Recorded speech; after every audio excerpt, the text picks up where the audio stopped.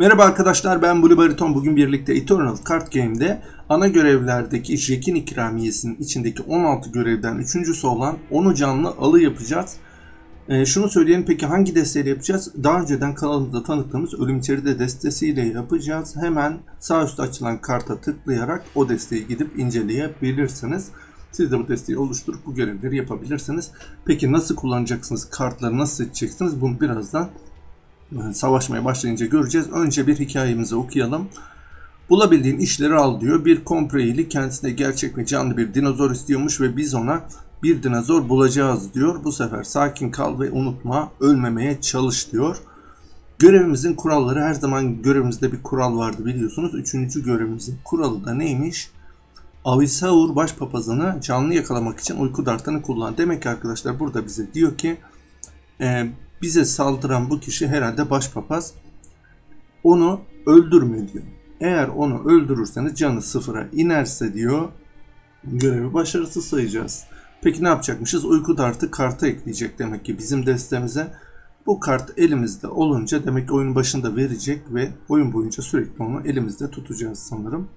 Ve sonunda da e, uygun gördüğümüz yerde vurup alacağız demek ki. Haydi bakalım.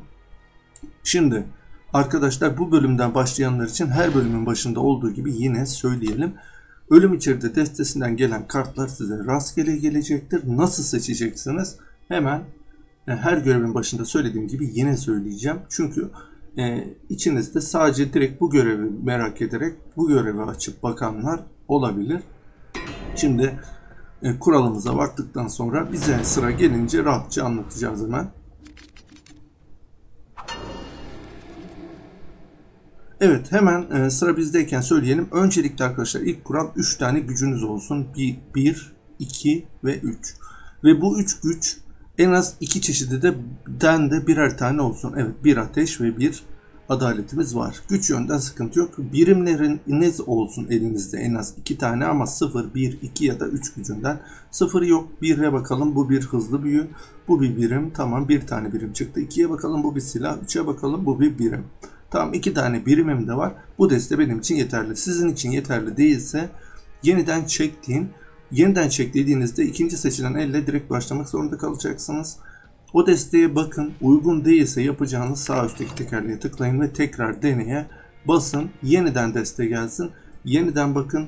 Eli beğendiğiniz zaman başlayın. Hemen kalsın diyorum. Ve başlıyorum.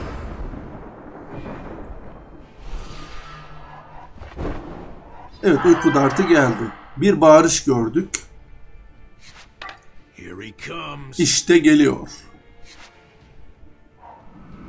Evet rakip hamlesini yapsın bakalım. Yankısıyla kendine 3 can kazandı. Demek ki bu yankı olan kartı belki de az önce kendini kopyalayan buydu. Çünkü başka bir kart kopyalanmadı.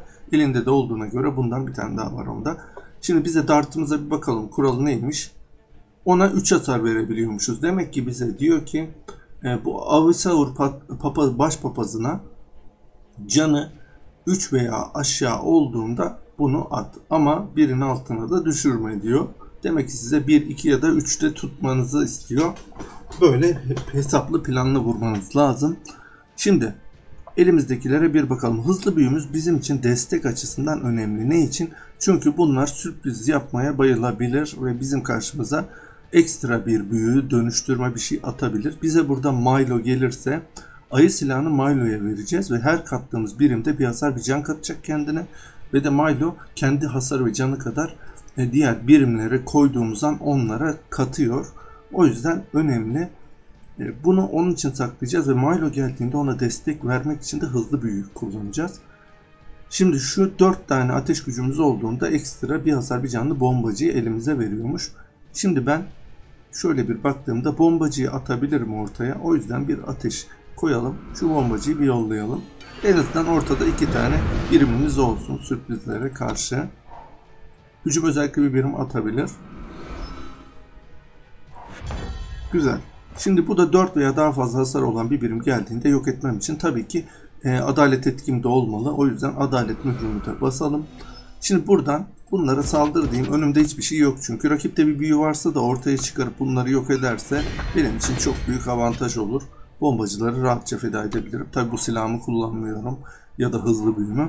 Çünkü Milo'ya saklıyorum ya da sağlık çalacak birimime. Diğer yankı özellikli kartını da kullandı. Ben tabi hızlı büyüm var diye bana soruyor. Hiç gerek yok. Canlı doldurması önemli değil. Sonradan biz fırsatını bulduğumuzda bunları yapacağız. Şimdi iki tane pazar birimim var ama önce şu adaletli üç gücüne bir ulaşalım. Şimdi e, bunlarla biz pazarımızdan ne alabiliriz? Bunlardan birini yollarsam neyi gönderebilirim? Güç bana lazım. Bu ok lazım. Şu tabii ki tehlikeli güçlü 4 ya da daha fazla hasar olan bir birim gelirse yok etmemi sağlayacak. Şunların ikisi önemli. Demek ki diğer pazar birimini aslında yollayabilirim. Çünkü adaletten benim bir pazar birimim daha var. Ne alabilirim diye bakıyorum. Milo'yu çekebilirim. Milo'ya destek verecek hızlı büyüm de var. O zaman e, Milo'yu biz oradan bir alalım. Şöyle yapalım. Şunu yollayalım. Hem de ortada bir birimim daha olsun. Şu diğer pazar birimini yolla. Bana Milo'yu ver. Şimdi Milo'yu da size göstereyim tekrar bilmeyenler için. Bakın başka bir birim oynadığımızda Milo'sunun hasarı ve canını aynen götürüyor ve direkt o birime hangi birimi koyduysanız ortaya ekliyor. O yüzden biz Milo'ya burada ayı silahını verdiğimizde bir birim oynadığımızda direkt ona bir hasar bir can katacak. Üstüne de kendinde oluşan toplam hasar ve canı o birime katacak. O yüzden bizim için önemli ve buna bir saldırı gelirse bir sonraki tur katacağız. Hemen sırayı bitirelim. Bununla da destek vereceğiz. En azından 3 hasar 3 canlı korumak için iyi olacak. Ama tabi bu kesin değil. Hepsine 2 hasar verecek bir fırtına attı. Ama niye bizim o 3 canlı değil miydi? Yok 2 canlıydı 3 hasarlıydı tamam. Şimdi diğer pazar birimim geldi o güzel. Şu gücü bir basalım. 4 oldu. Şimdi 3'teyken bunu atamazdık. Çünkü bir bunun böyle destek verecek. Şunu bir yollayalım. Çünkü elimizde güç kalmıyor. Bu turu böyle geçleyeceğiz. Rakip büyü yaparsa, bir şey yaparsa en azından biraz belki koruruz diye önden attım. Destesinden seçtiği bir mührü çekiyor. Tamam.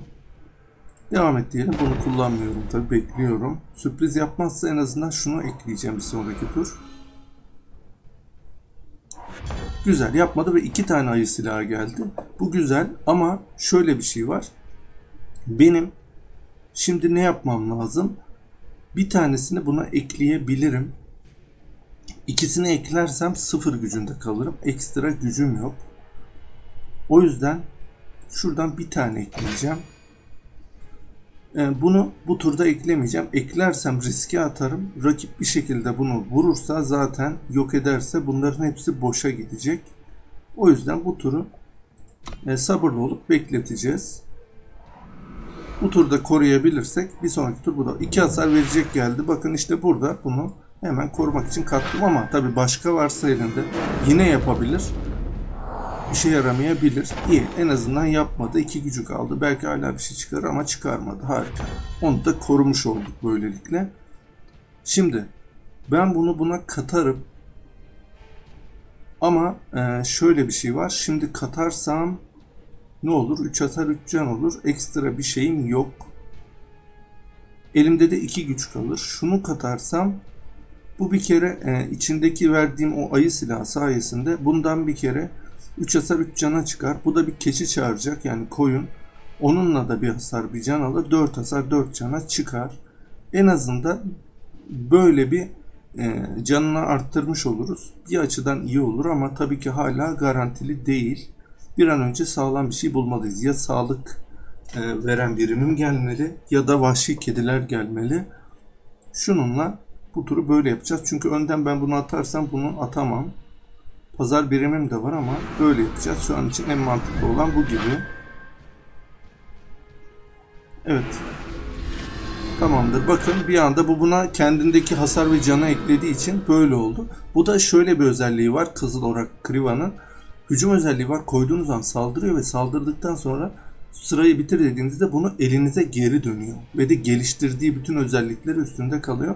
Ve de her getirdiğinizde tekrar bir koyun getirecek. Bu da her ne kadar güçlendiyse her seferinde daha çok verecek. Yani keçiyi rahat rahat yani koyun mu diyelim. Rahat rahat rakibin önüne sürebilirsiniz. Şuna saldır diyelim. Rakip engellemedi. Güzel bakın sırayı bitir dediğimde keçim kalacak. Benim burada önemli olan e, Milo'ya dokunmaması. Dokunursa o zaman ona göre bakacağız. Ne diyor? Elindeki bir kartı destenin en üstüne koyabilirsin. Maliyetini de 2 azalt dedi. Şimdi bir güç geldi. Bu gücü bir basalım. Tamam. Şimdi bu tur kullanamıyorum ondan aldığım ama 4 gücüm var hala. Şimdi bu uçan bir birim. Benim yine bunu atarsam ee, şey yapabilirim. Yine 2 arttırabilirim ama bu sefer şöyle yapacağız. Şu ayı silahını koyacağım. 5'e 5'e çıkaracağım. Ve bu turu böyle geçeceğim. E, şuna saldır diyeceğim. Bu bunu engelleyemez. Bu da 4 vurur ama bir sonraki tura bu pasif kalır. Rakip en azından aktif birine büyü yapmak isterse yapay zeka olduğu için belki bunu seçer. O yüzden bu turda saldırı yapmayacağım. Bekleyeceğiz. Bir sonraki tur bunu attığımda ama iki tane silah olduğu için buna dokunmazsa eğer her biri için iki hasar iki can ekleyecek. Bu da onu çok daha güçlü yapacak ve de keçimiz de daha güçlü olacak. Bu arada e, şimdi ben bunu atabilirim. Buna bakayım bir. Ama bununla da yok edebilirim ama yok etmek yerine bunu koyacağım. Nedeni de şimdi bu önce 2 hasar 2 can alacak. 7 hasar 7 canı buna ekleyecek. Sonra koyun gelecek. O 9 hasar 9 can olup koyuna ekleyecek ve koyun zaten bunun önünde tehdit olacak. O yüzden bunu atacağım önce. Elimdeki güç yeterli olmadığı için güç kartı gelirse zaten bunu kullanabilirim. Bakın şimdi bu da iyice gelişiyor. Her seferinde böyle güçleniyor. Gördüğünüz gibi sağlam oluyor. Hatta bunu böyle kullanmaya da biliriz ama ben kullanıyorum. Her seferinde benim ihtiyacımı görüyor zaten ama hiç vurmayıp riske atmayabiliriz. Çünkü bazen saldıran birimi öldür diye bir şey çıkabilir rakipte. Milo'ya saldır demiyoruz asla. Sürprizi olmaması için. Bakın bunu da ne kadar güçlendirdi. Tamamdır. Bakın bu da bunun önünde tehdit. Unutma onu çantana koymak için dartı kullan. Evet bakın ben bunu unutmuştum size anlatırken. Bunun canını düşürecektik. Bir an unuttum. İyi oldu hatırlattığı. Bir birime katil özelliği ver dedi. Hangisini öldüreceksin?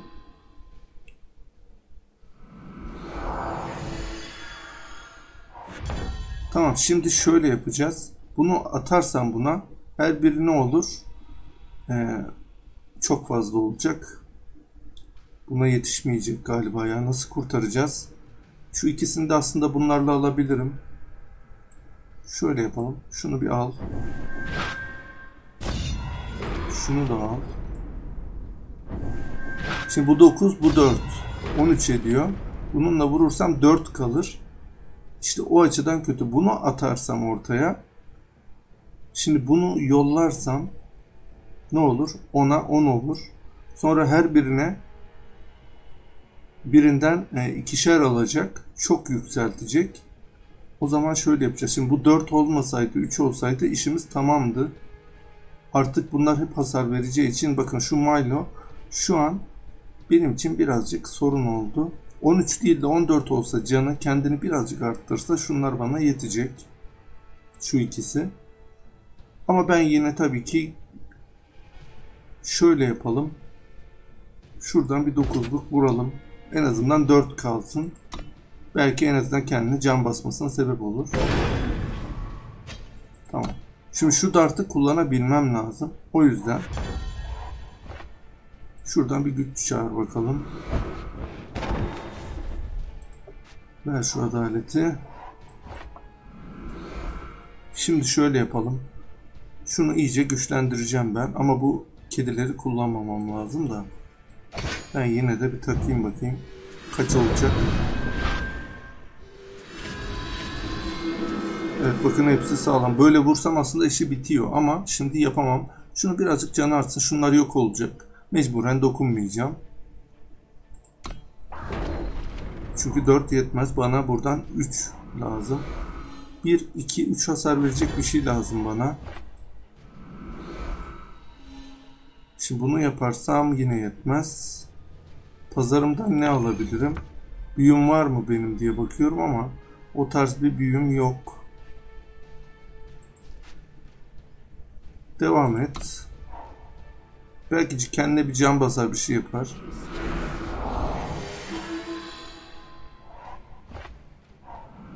Ben şimdi saldırdığımda bu engellemezdi.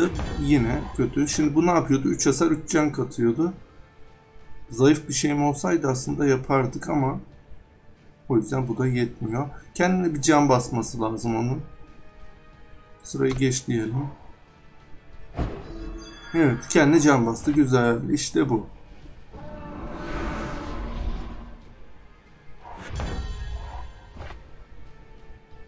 Tamamdır. Şimdi yapacağımız şu. Şununla saldır dersem bu bunu durdurmak isteyecektir. Bu da bunu durdurmak isteyecektir. İkisiyle saldır dersem buna da dokunmazlarsa 2 kalır. Riske gireceğim çünkü başka çare yok. Böyle yapacağız. Ama bu bunu yok eder. O yüzden bu ikisini yapalım ki bu ikisi bunların önüne engel olsunlar. Ben de bir sonraki tur önüm boş olsun. Ona göre planlayayım. Evet. Bunu da seçerdim ama bu bunu yok etmeyi seçer belki diye dokunmadım. Devam et.